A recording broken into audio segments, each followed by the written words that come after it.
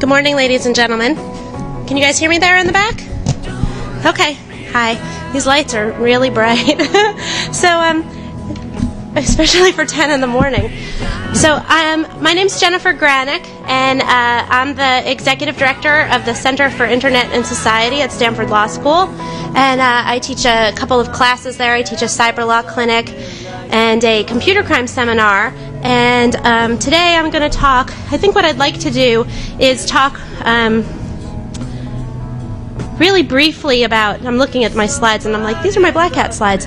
But what I think I'm going to do is talk um, kind of briefly about my topic today, which is um, how intellectual property law is posing obstacles for um, computer security research and disclosure.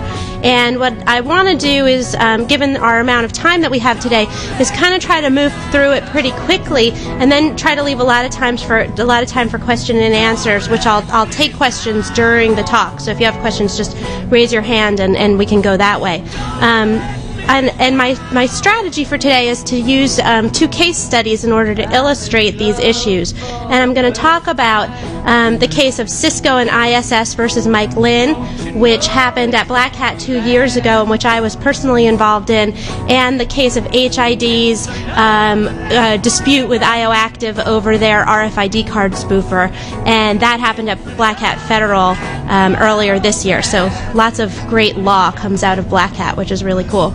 Um, but I, I, just want to sort of preface this by saying that I'm particularly um, happy to be talking about this now and here because um, this these topics that I'm talking about today are in a chapter of a O'Reilly book that's coming out um, in August called Security Power Tools, and um, it is the first thing I've ever written that's been in a big book format. So I'm excited about that. And secondly, because I am leaving my job at Stanford at the end of August, and I'm going to work at the Electronic Frontier Foundation to do more. yeah, I feel I feel pretty much exactly the same way, and uh, I'm going to do more Fourth Amendment, more security law, and more um, to more like technology, privacy, surveillance stuff there. So I'm really looking forward to that. So. Uh, um, you know, I have my contact information at my new place at the end of these slides, and uh, if you guys want a new card, you can uh, come and get them, and I have a few of those as well. Okay, so with no further ado, uh, so uh, as I, I, mentioned, I was going to talk about this case. These are some URLs you can go to look at for some more information about it. Um, and for people who aren't familiar with the case at all, who who knows about this case? Okay, who doesn't know? Okay, just a few people, so I'll, I'll be brief. Basically, what happened is. Um, Mike found some vulnerabilities in Cisco routers, and he wanted to report at what those were report what those were at the Black Hat conference, and um, his employer and Cisco objected to uh, his doing it in the way that he was planning on doing it, and so they um, told him not to. He quit his job, gave the talk anyway, and then they filed a lawsuit against him. I represented him in that lawsuit, um, and then later on the FBI showed up, and it was, you know, kind of a lot of a, a, mess and it interfered with gambling and it was took a lot of work. And you can read my story all about it um, on my blog and, and wired at these particular urls it's a you know i think still a somewhat amusing story. But um, the complaint claimed these intellectual property um, torts had been committed, that there was copyright infringement and misappropriation of trade secrets and breach of contract. And I'm going to talk briefly about the case. You'll see they all kind of weave together into this legal morass. Okay, in the second case I'm going to talk about, um, here's some stuff about it. Um, this did not end up in a lawsuit. Later on, HID disclaimed that they were really trying to stop the talk or anything, but the letter that they had sent to IOActive suggested that they thought that um, the, that IOActive was misusing their patent, um, their patents in these uh, RFID card readers by creating something that read and spoofed RFID cards. They said, "Well, we have a patent in for that technology. You're also reading and spoofing RFID cards, so we think you might be um, uh, violating our patents." Okay, so I'm going to not cover all of these things in you know great detail because you can see that it's rather complicated. But I want to kind of go through and give you guys a sense of what the basics are about copyright infringement and reverse engineering, how fair use plays into that, and then the complexities of that in light of um, contract law and licensing and, and EULAs in terms of service.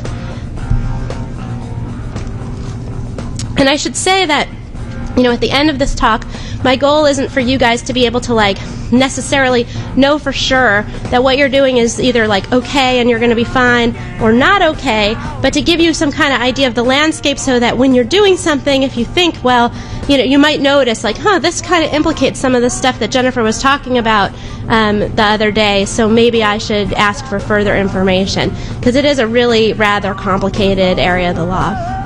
Um, there were some simple parts about Mike Lynn's case. One of them was that the companies claimed copyright infringement because they said that his slides that he was going to show at the conference were copyright infringing because he had made those while he was still at his employer, ISS, and uh, those slides belong to ISS.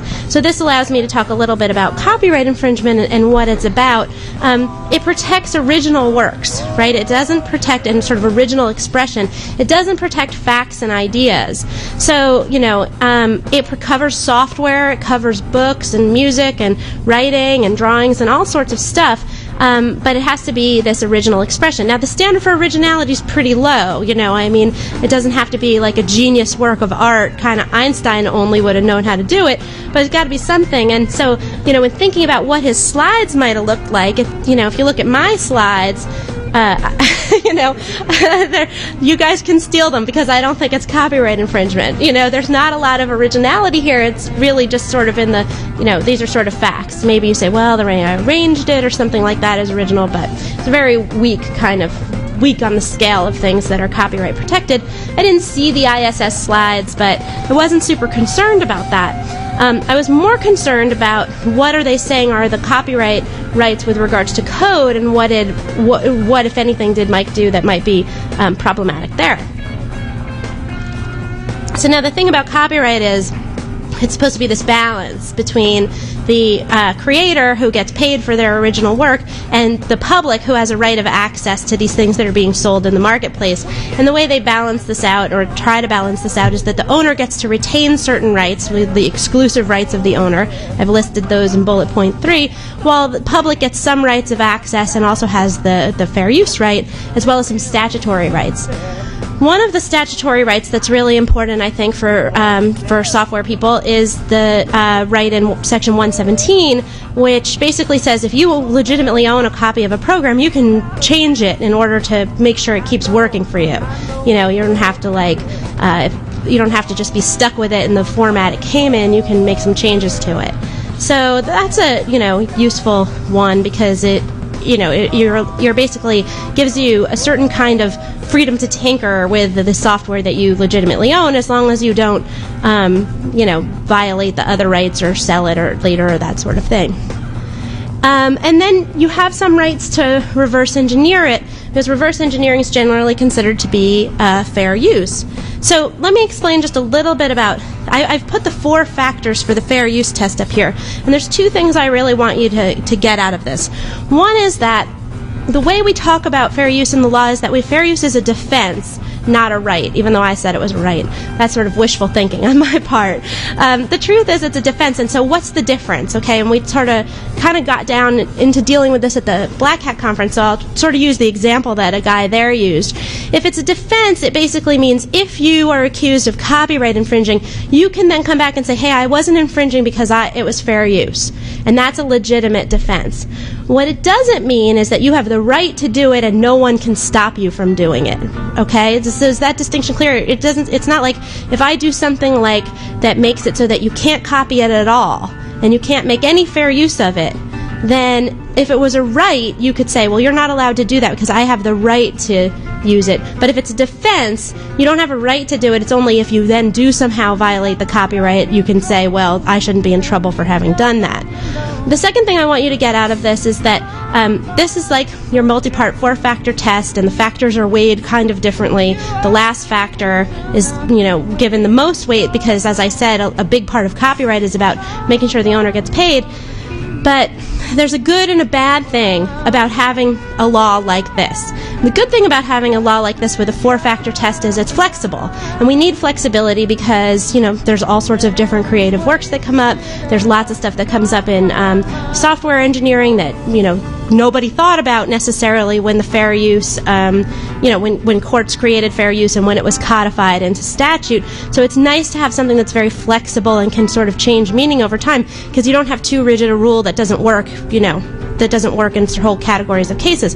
The downside is nobody knows what the hell fair use is, right? Because it is this flexible, fungible test, and it kind of isn't, ends up being in the eyes of the beholder or whatever the judge thinks. So there's a lot of uncertainty in the question of fair use. Um, okay, so let's talk specifically about reverse engineering. There are many cases, I'm not going to go through them right now because um, I do want to be relatively quick, that say that reverse engineering is a fair use, um, specifically because copyright doesn't protect functionality or facts or ideas, it only protects uh, originality and original expression. And, and, and the cases say basically if you need to make copies as part of your reverse engineering in order to understand the way that a program works, that's totally cool. Um, what you can't do, um, and what will not save you about reverse engineering, is um, if you end up taking copyrighted code and using it in your final product, because there you're still making copies, um, and you're you're using them and distributing them and taking advantage of that when you sell your uh, whatever is the thing that you're creating, whether it's a, a patch or a competing product or a compatible product or whatever it is. The other thing is that there are a number of cases that suggest that if you come into possession of the software you're reverse engineering illegitimately, either your initial copy is infringing or, you know, something like that, then you're kind of in trouble. Well, that's sort of an interesting thing.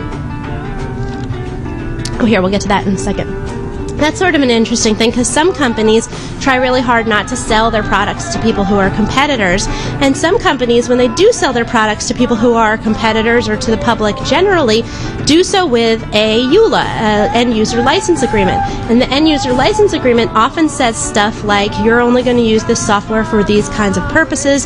Sometimes it says you can't reverse engineer it. Sometimes it says you can't do benchmarking with it. Sometimes it says you can't criticize um, or comment on the program without express written permission by the owner. So, one question that the case law still kind of leaves open with reverse engineering is well, what if I. Um, you know, haven't, what if I buy the software secondhand, or what if I have the EULA, but I disregard it and I reverse engineer anyway, um, what does that mean for my ability to raise a fair use defense later on? Okay. And the thing that's really, I want to sort of stress this also as well. The thing that's interesting about this is, you know, in the law, you can do something wrong, but then the question is, well, what happens to me next, right? So it's same thing in real life. You know, you did something wrong, but are you going to get the slap on the wrist, or how much trouble are you going to get in? And then you can kind of make some sort of calculation.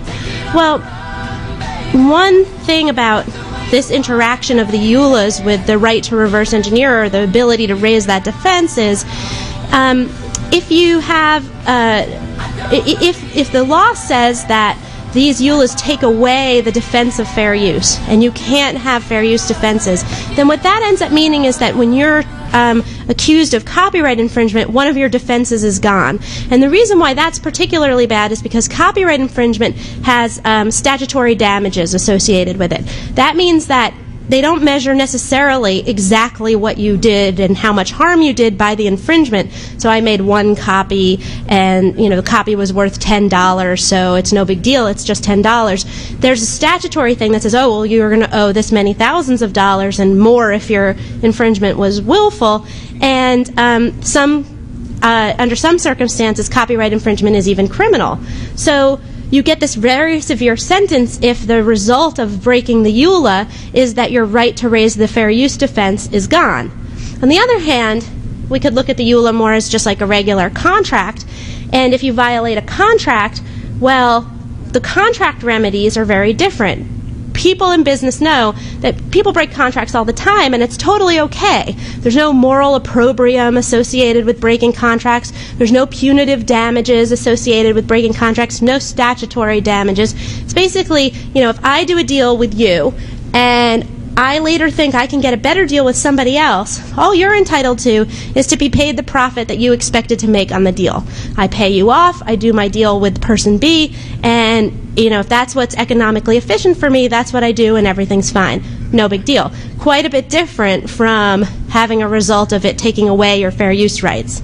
Okay, so that's an important thing to think about here. Maybe you're still doing something wrong, like oh you broke the EULA, but you know what does that what does that really mean? Okay, yeah.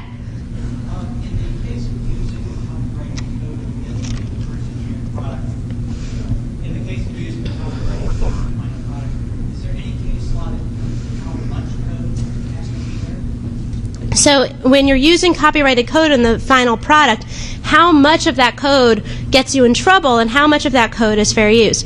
So this is a pretty common question and you know a lot of times in industry they'll have some kind of bright line rule to try to get rid of the subtleties of the fair use test and they'll say you can use 20 notes or you can use 5 lines or something like that. Well that's all wrong under the law actually. None of those rules are really actually true. This four factor test is the test, okay? And this is very fact specific. So you're going to look at why you used it, whether you made money off of it, how creative was the part that you used, how much you used as comparison to the whole amount of code overall, and whether your use of this had an effect on the potential market for that piece of software. And this market factor, as I said, is the most important one, and it's one of the most complicated and interesting ones as well. So, because you know, you can have a lot of different types of effects on the market for something. It could be, um, I think, the one that this test is getting at, which is that your thing, which maybe is infringing, supplants or takes the very place of this exact thing. Or it can be that you hurt the market for it in some other kind of way. So, in one of the big reverse engineering cases, it's a video game case. A lot of these reverse engineering ga- cases are video game cases. Uh, it's very sort of innovative and competitive market. And in this case, it's uh, Sony versus Connectix. Basically, um, Connectix wanted to make an emulator so that you could play Sony PlayStation games on your computer. And um, they made copies of the Sony BIOS in order to make their emulator. And uh, Sony said, hey, you're, you're, this is not fair use. You're making copies and you're affecting the potential market for our works because we sell the, our idea is that people are going to buy the PlayStation box and buy the games and that these things go together. And your emulator's taking the place of your, your emulator's eating into our profits for because who's going to buy the PlayStation box if they can you know play it on the emulator? And I think the court made the right decision in that case and the court said that's not the kind of market harm we're talking about. We're not talking about something that helps consumers have choice or that unties one product from other products goods and services. We're talking about something that's like basically taking the exact same market uh, sector or the exact same market nation and replacing that. So it's a complicated test in a lot of ways. The market factor is the most important, and that one's particularly complicated. We've seen other cases that kind of, you know, sort of dance around this and trying to define what's interfering properly with making sure that something's not anti-competitive or that customers still having aftermarket choices and what's interfering with the real market for the original work is kind of a subtle thing. So there's no bright line rule I can give you. Is the short way, the short answer. Um, the lo- that's the long answer. The short answer, which is true for most of the legal questions, is it depends. So, so if you guys are having questions, you're like, I wonder what the answer is to that. I'm going to give you like nine out of ten odds. It depends. Okay. So for Mike, I think his use of the code snippets were pretty much classically fair use, especially because of the reason he was using them, right? Using them in a, in a product afterwards, you can do it. I'm not saying it's not fair use, but it's not the classic kind of heart of fair use type of stuff that we think about, which is criticism and commentary and that kind of thing. So he had this, you know, very, very um, core, central fair use type of reason for using the code, which is you know, to, to critique. Okay, this is a summary of what um, I believe I've conveyed to you. Um, now, I just want to point out something I say. Limits are copyright law, contract law, DMCA. There's probably other limits. I just want to make a distinction between what I'm calling copyright law and what I'm calling the DMCA on this slide. We had some questions about the DMCA when I gave this talk at Black Hat. I just want to make it clear. So DMCA stands for Digital Millennium Copyright Act. It is part of the copyright law. Um, but the way I'm using it here is to specifically refer to one section of the DMCA, um, which is the anti circumvention provisions.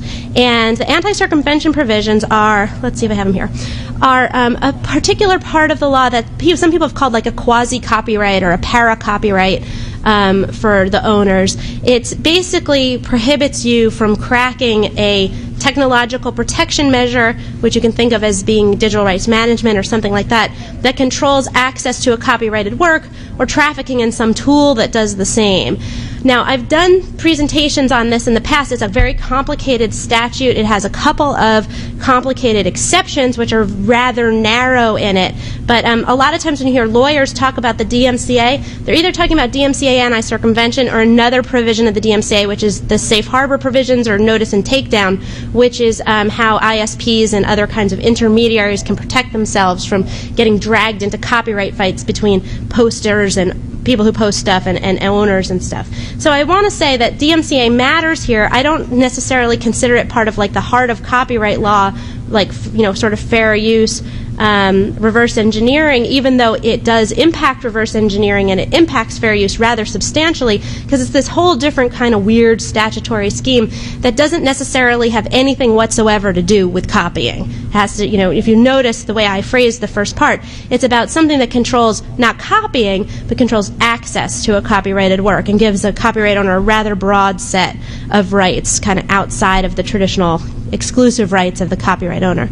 Do you have a question?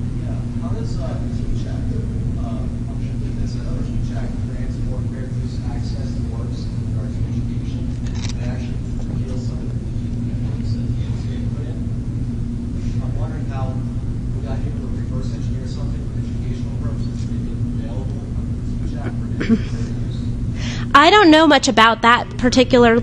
Oh, yeah, I'm sorry. He's asking about the TEACH Act, which he's saying it has some particular provisions about fair use for educational purposes. And I don't know much or, or anything really about that specific act and how it overlaps or interplays with this. You know, as another statute, it's going to be read, you know, they're going to have to be read in conjunction, but I don't know anything about that. I may be able to get you the. I see some people in here who might already know the answer to that. So I'll be able to get you an answer to that by the end of the talk. Yeah.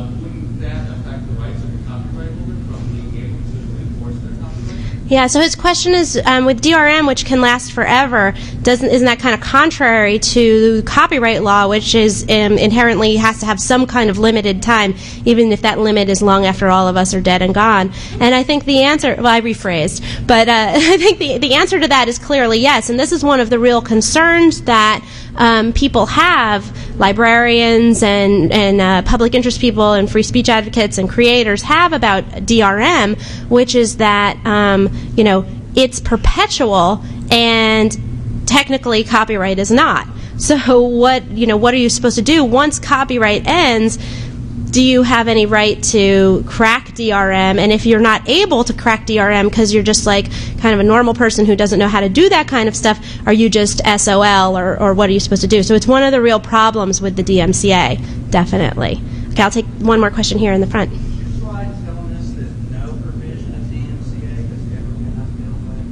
Um, good question. So what I'm saying here is that while what I, I, mean to have these two read together, what I'm saying here is while the DMCA anti-circumvention provisions have been successfully used to threaten security researchers in the past, none of these cases have actually gone to decision by a judge, where a judge has said this is an appropriate, proper use of the DMCA. In every case, one or the other of the parties has blinked and um, they have backed down. So no court has ever said, "Yes, you're right. This security research is, you know, researcher." There's there's rampant numbers of cases where this has happened. The Ed Felten SDMI situation, uh, SnoSoft and their Hewlett Packard work. Um, Blackboard and the Interzone presenters. So there's just a lot of examples, but these were all things that were kind of pre-litigation and didn't get, end up getting settled. So thank you for asking that question because it, it, does clarify my my uh, slide. Um, Yes, of course. I'm curious if you believe that, uh, that anti-SLAPP laws in California might, uh, impact researchers in the West. Okay. So the question was about California anti-SLAPP law and the intersection with whether researchers can use that law in order to help themselves. Okay, so California has a law that says that if I get, uh, let's say it's me, I'm getting sued. Um, I'm getting sued for something, and what I'm getting sued for is connected to my right to free speech, or petition, or so, talking about something that's in the public interest. If I'm sued, um, I'm allowed to make a motion that says, in a very early stage of the litigation, pre discovery, before I've spent too much money and stuff, that says, okay, plaintiff, prove that you've got some likelihood of prevailing on the merits before you drag me through court and make me spend all this money. It's California's way of trying to protect people from suits that are uh, intended to squelch criticism or other sorts of First Amendment activities. Other states have these statutes. Um, New York has one. Um, I know some other states have them too. None are really as broad as the one that we have in California. We have a nice, healthy anti SLAPP statute in California. And if you win, you get attorney's fees, which of course the attorneys really like. And, and people like it too, because they don't have to pay the attorneys then, because the, the other side pays, pays the attorneys. So it kind of gets to the question of whether, um, you know, whether, let's say you were going to publish, you're a researcher, and you're going to publish something, eh, or you do publish something, let's say, um, let's say they sued um, Mike Lynn in California. He published his Cisco stuff, and they then and the question is, well, could he bring an anti-SLAPP statute? And I think that the subtext of that question is, is it free speech what he did? So. Um, is code speech? Let's say he put out his his uh, findings in code or his PowerPoint or whatever. Well, um, the law has pretty much settled that code is speech. Um, it is a way that people who can read code communicate with each other. It expresses some sorts of uh, ideas and learning and knowledge. And so, um, you know, we pushed, as the civil liberties people, we pushed pretty hard for courts to recognize that code was expressive, recognize that code was speech at very early stages of the game. And the reason we did that was we really did it in like 96 and around that time when we were having the encryption wars. And we wanted to say, you know, let people publish their encryption algorithms because encryption algorithms are speech. It's part of university research and all of that stuff. Well, the the flip side of that coin of, of code being speech is that it's expressive, and if it's expressive, then it's protected by copyright also. So, yes, it's speech, but yes, it's also copyright protected. So, in some ways, you're allowed to make it, but in other ways, once somebody's made that code, other people are restricted from the ways in which in which they use it. Um, and so it is protected, but protection doesn't necessarily mean, as with everything in the law, that it's absolute. Like you can just write whatever code you want and do whatever you want with it, and there's no ramifications. There are limits to it. One of the limits is that they look at code, they know it's speech, but it's also functional. And so it's not, you know, sort of analogous to other things which are actions, but which have a communicative aspect to it, like, let's say, burning the flag. Okay, so there are some ways in which they can regulate that. They can say, no burning things, right? Um, and there's some ways in which they can't regulate things. They can't say no burning the flag in order to express your distaste for the country's policies, because that's getting at the speech part, but the more general rule is okay. So we've seen a lot of cases where there have been First Amendment challenges to regulations on speech. For example, challenges to the DMCA anti circumvention provisions. We've said, hey, you know, we're distributing code that tells how to decrypt DVDs. Um, this is First Amendment speech. And the courts have said, yeah, you know, the First Amendment plays in, but the prohibition is general, and you can have general prohibitions that impact speech as long as they're not targeting the communicative, communicative part of the message. It's okay. Um, other limitations to what is a freedom to you know distribute your code might also be um, aiding and abetting law. Like if i do it with the knowledge that the person to whom i'm giving it is going to use it for a crime that's bad. Conspiracy law if i give it to somebody with an agreement that um, they're going to use it to commit a crime and um, my giving the code over is part of my helping that conspiracy come to fruition. So, um, you know, there, there are definitely limitations to that, but these are limitations that, just to round out the question, in the context of anti SLAPP, the plaintiff, once I show that it's about speech, the plaintiff has to show these things, you know, don't apply and that they have a valid case. Okay, does that make sense? We're covering so much stuff. This is great. Okay, let me go back. Okay. Let's talk about trade secret. So, trade secrets um, are another sort of type of intellectual property, although they're very different in a lot of ways. And basically, it's something that's valuable because it's not generally known. So, um, what kind of thing is this? You know, what was the trade secret supposedly for? Um, what was the trade secret supposedly for uh, Mike Lynn? Well, you know, one question is do they think that the trade secret is the fact that there are limitations or vulnerabilities in the Cisco code? Um, you know, and I have actually had people tell me, lawyers on the other side tell me that they believe that the fact that their code doesn't work right is is the trade secret. Um, which you know you can see why it makes sense. This is the problem with these laws. You know, it's like, well, our product's worth more because people don't know that it's insecure, and so you know that's our that's our trade secret. And then this has been successfully used. I mean, I've represented people who haven't wanted to fight over this sort of argument before. Um, and um, in 2003, uh, door access company Blackboard was able to use the trade secret law to get an injunction against two researchers and stop them from presenting their research at the Interzone conference um, in Atlanta. So you know, it's not it, it's it's sort of ridiculous. And hopefully, what we're going to see is that judges will kind of get this more than they have in the past, and they'll they'll understand more. Because you can see if we had that same rule with cars, you know, sorry, Ralph Nader, you can't tell people that if you rear end the Gremlin, it's going to blow up because then nobody will buy Gremlins, and that would be terrible. So you know, what's the secret? Well, sometimes source code is secret, right? And you guys, maybe a lot of you know, you get source code and you, you know, and you're, you're allowed to work on it, but you're not allowed to disclose it because you're under NDA. And what's an NDA? It's another kind of contract, right? So this is, this is a situation where contract can kind of make something secret. And um, it makes a lot of sense that a contract would make something secret when it's an NDA because you're an employee, you come to the company, you negotiate the thing, and, you know, you're getting money in order for working on the case, and it's all well and good. Well, what about other kinds of contracts, like EULAs or terms of services or that kind of thing?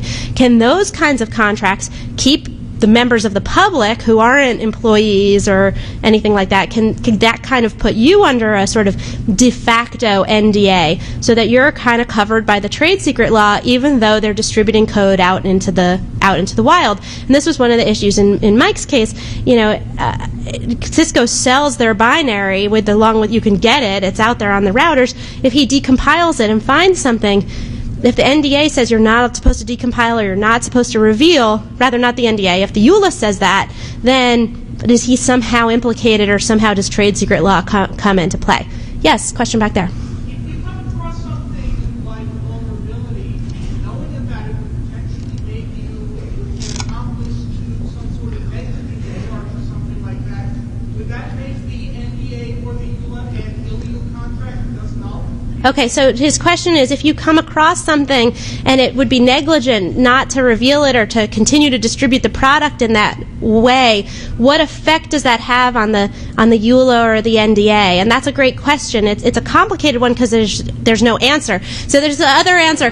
The other answer in the law is we don't know. So you have two, okay, and you can choose. It's like it depends. I shouldn't have said nine out of ten. It should be like seven out of ten. It depends. And then you know three. The other three is like we don't know. So in this one, we kind of don't know what the what the answer is because um, trade secret law, uh, you know, in copyright law, we have this whole like whether you think it works well or not, we have this accommodation for public access. It's fair use. Criticism is allowed. Blah blah blah. Well, we don't have that in trade secret. You know, I'm showing you the slide on misappropriation, um, and it doesn't say it's okay to violate this law if you're doing so for the public good. And we had a fellow at Stanford last year, David Levine, who wrote a paper about this um, and about the way that trade secret law was kind of interacting with public goods and public infrastructure, and you know that there wasn't any kind of exception. The, those Cisco routers are one thing. It's not just like a flaw. It's a flaw in like the routers that are the backbone of the internet. It's pretty serious. But another really serious one is with e-voting. Okay, so you have these e-voting machines. It's proprietary code. People want to know if they can look at the code and determine whether these machines do what they say they do and if they're robust and you know if they're secure enough we know nothing's secure. But if they're secure enough and they say, no, sorry, that's our proprietary trade secret code, we're going to not let you look at it, then what Levine argues in his article is that, you know, as more of these things become kind of intertwined with like our security or our economic safety or our democracy, there's got to be some point at which the trade secret law yields and allows the public right of access so that we can make sure that you're not going to get in trouble for um, you know you're not going to get in trouble for for talking about it. Now just to kind of take it into take a step back into the way the way it is now you know it's sort of a comparison um, is we still do have these laws apply to people who are whistleblowers for important stuff, you know, and we have, you know, there are situations where laws are enforced or could be enforced against people who are simply reporting the wrongdoing of others. And that's why we have specific whistleblower protection statutes that maybe work in kind of narrow areas but don't necessarily apply overall. Um, so that if you work at AT&T and you know that the NSA has a secret room into which they're funneling all of our communications, um, and you take the internal AT&T trade secret documents or classified government documents and you give them to a civil rights group or to a reporter, um, there's not even now in the law something that necessarily says that that's okay, even though that might be in the public interest. Same thing for those of you who've seen The Insider or um, Silkwood or you know any of these whistleblower type movies. Uh, you know, we we don't necessarily have that kind of protection now, and there there may be reasons why in the computer context it's different. Um, you know, than it is in these other situations, or it may be that overall we've just kind of stomached a, a, a, kind of unhealthy amount of, um, you know, an unhealthy amount of, of um, chilling on this sort of uh, on this sort of whistleblowing or, or you know kind of scrutiny of stuff that matters to the public. So we're going to have to see. But this is a, this is a problem that is, um, I think, slightly endemic to security researchers, but not entirely novel. Okay, so you can see here that it says that. Uh, oh, here, what, what misappropriation of the trade secret is, it says reverse engineering or independent derivation alone are not improper means. That's great. But what does alone, and this is the California statute, which is rather broad.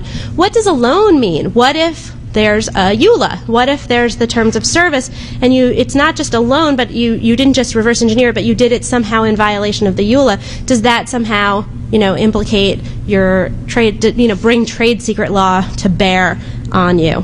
Okay. So here's a kind of a summary of my point about this.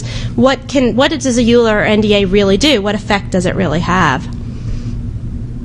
Some cases on EULA enforceability. There's a few more that are really interesting. I wrote a column about it, which was out on Wednesday in uh, Wired News, so you can look at that for more information about um, the fascinating issue of EULAs.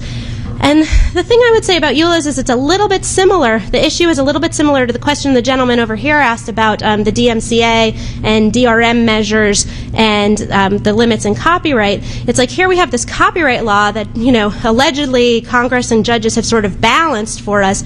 And then you've got DRM, which is just imposed by the copyright owner. It's like take it or leave it. It's whatever they want. And it doesn't necessarily take into account any of this public rights of access. It was very similar with these EULAs. Here we have trade secret law, and there's like some exceptions, and you know there's judge-made law about how you know it's supposed to work.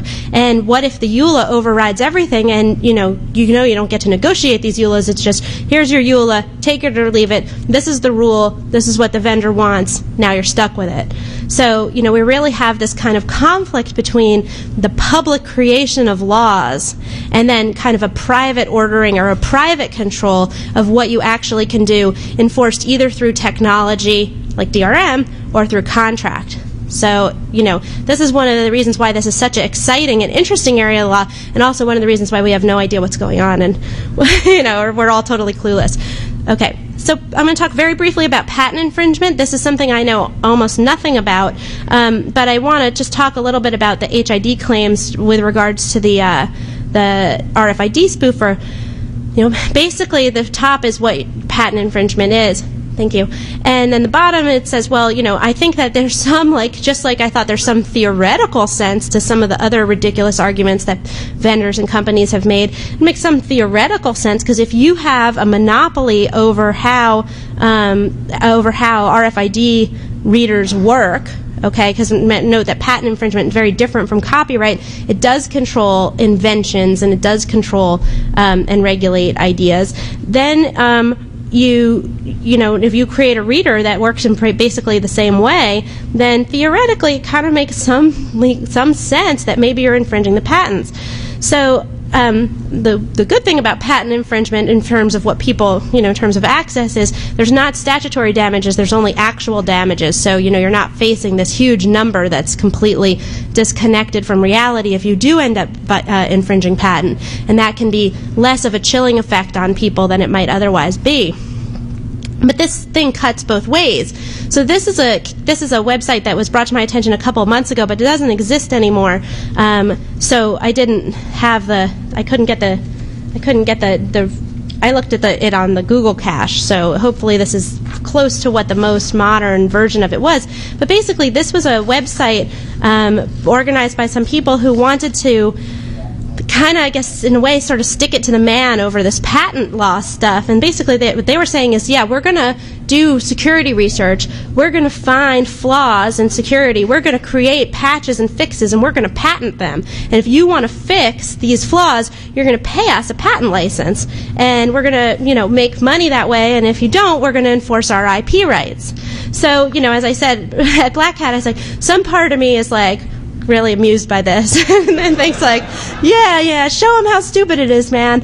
But you know, some part of me show it, it, it's really like this is why you know you can't. This is why having intellectual property law in this field is really counterproductive for computer security. You know, you can't have when you have something important like this, you have these like really strong private interests that are primarily um, finance motivated. You can really end up in a kind of IP war where nobody really benefits very much at all. Okay, so there's my thing on vulnerability reporting. Here is my current information. Here's my my. Oh, I didn't put that in there. Well, I thought I had changed this one. Anyway, I'll I, will i have cards and I'll tell you my new phone number. I don't know exactly what it is, but you can uh, email me or Google it and you'll see.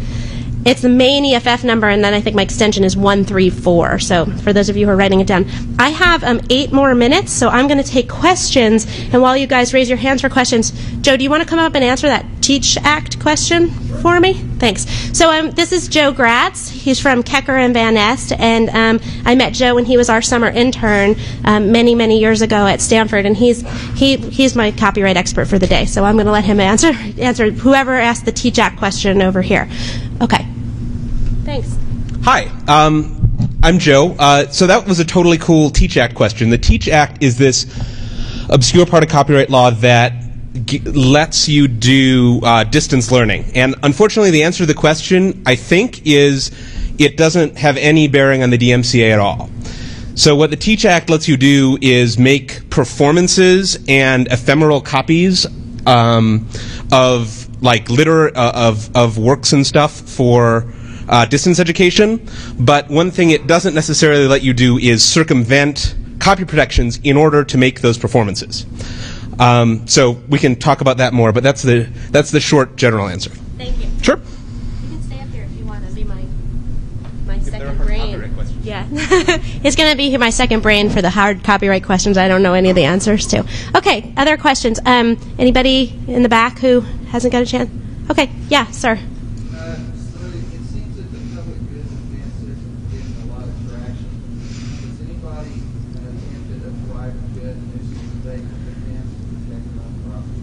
so he said it doesn't seem like public good defense is getting any traction. What about like a private good nuisance or sort of a you harmed me kind of thing? And you mean by by putting out insecure software or by distributing vulnerabilities that other people use to attack or something like that?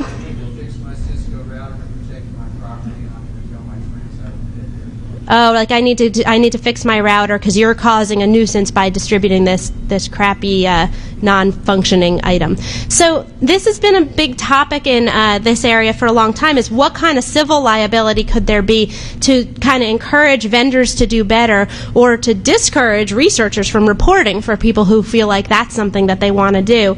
And um, while there's been more movement on the discouraging of researchers um, than there has been on the holding vendors liable, there hasn't really been that much in the that's actually reached a that's actually reached a court decision. Um, and I guess I feel sort of two ways about that because on the one hand, you know, I do think that like manufacturers of other products, they have a responsibility to their customers to put out a product that is safe and secure. You know, it's sort of like we expect that in all the other realms of commerce, but for some reason, you know, it's sort of not done here. And, you know, they have all these disclaimers and disclaimer of warranties and, you know, that sort of thing. And, like, how can these work? How can you really do business this way? It's kind of bad. Um, and it would definitely incentivize give you know uh, incentivize making things more secure. So you know a lot of times sometimes things aren't secure because it's hard to secure things and sometimes things aren't secure because it's cheaper for them to just ship it to you and let you deal. You carry the cost. They're in the best positions to fix it but you carry the cost. So wireless routers are a perfect example of this. The wireless router they ship them insecure. They don't like have it default with a password on it. And the reason why they don't do that is because A, if you get hacked, it's your problem, not theirs. And B, if they put the security on it, it's much harder for normal people to install it in their houses. And then they get more um, calls to customer service. And those customer service calls are really expensive. So you know that's that's the that's the calculation there. What do they care? So you know you, you're like well they're in the best position to secure it. Why not put the burden on them? That's what economic theory in the law says say that the legal responsibility falls on the person who can, you know, is in the best position to fix it. But on the other hand, when I think about how the way that software is made, I mean, one person can be responsible for a really great, program that a lot of people use, or it could be open source and like a community or a collective of people could have done it. And I'm a lot more uncomfortable with people who are producing software kind of not for profit or who are producing it under kind of a different economic business model or something like that being held liable for mistakes in the, you know, being held liable for mistakes in the program. And one of the things that, you know, we generally kind of fight for in our field is this idea that, um, it's this idea that, you know, innovation is harmed by having too many legal rules right up front. And this was something we argued with the encryption debates. It's something we argue with the copyright software, like peer-to-peer. You know, in Napster and Grokster, we said like, let peer-to-peer flourish. Let's see what it brings. Sure, there's some copyright infringement that it brings now, but let's see what happens. And that actually turned out to be totally right because what did peer-to-peer bring us? It brought us VoIP, which is awesome, and you know has nothing to do with copyright infringement. Phone companies hate it, but but people love it. So you know we were right about peer-to-peer. This is a valuable technology. Let's see what happens and not let the fact that the early adopters are almost always criminally associated stop us from seeing how technology can innovate. And so, you know, I'm I personally, I, it's a great question, but like I personally am just of two minds, you know, of uh, about the liability issue. I'm going to take that person's question in the back, and then that's it.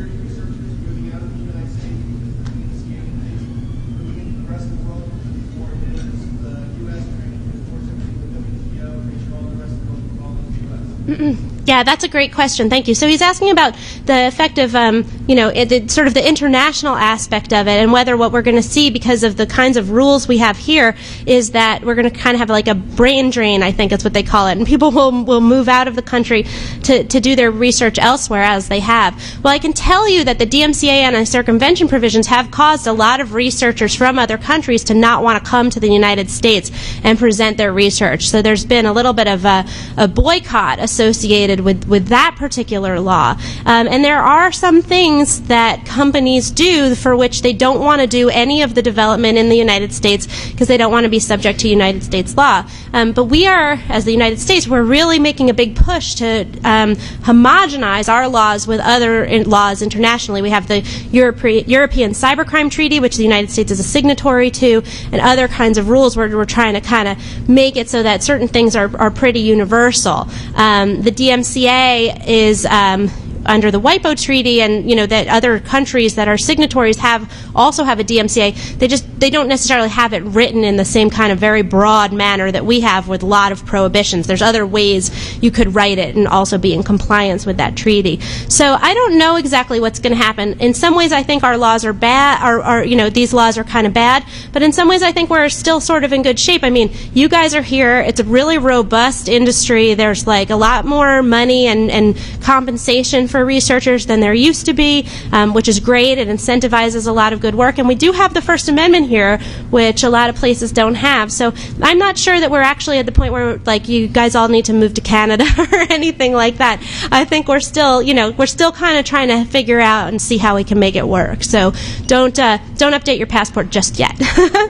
okay, it's 10:50. I need to stop. I think I'm going into a another room over here for questions and answers. So if you have other questions and stuff, um, you know, please come in there and thank you very much for coming, especially so early.